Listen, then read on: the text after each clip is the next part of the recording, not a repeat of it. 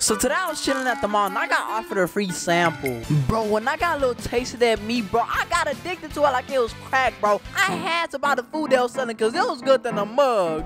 Bro, I didn't care what they put on it because everything they had looked good. Hey, hey, watch the play reveal, watch the play reveal. Alright, now it's time for me to eat good. You feel me? Bro, this food was elegant, exquisite, and fizzant. Every word that means good is fudge in the dictionary. That's how good it was.